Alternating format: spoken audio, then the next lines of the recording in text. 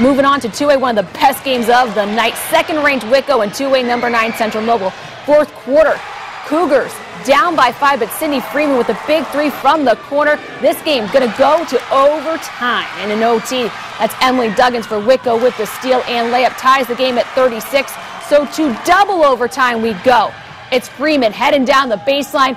She nails the jumper. She had nine of Central Noble's 14 points in both overtimes. And the Cougars win in double OT to take down the number two team in 2A 47 to 40.